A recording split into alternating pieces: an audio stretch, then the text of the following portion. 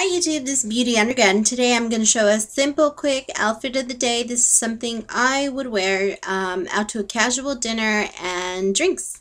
So, have my hair done as usual, um, makeup done.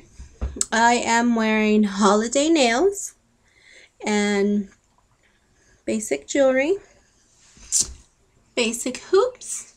Let me pan out for the outfit. So, so this is the basic outfit. This is a long sleeve tee. These are some black simple leggings and some black boots. The cardigan is uh, a cotton cardigan. It does have pockets on the side and kind of like a V opening in the back. So yeah, that's what it looks like. Simple, quick, and easy.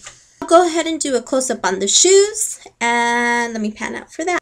This is a close-up on the shoes. They are some long uh, over the cap, under the knee laced uh, boots with a um, short heel.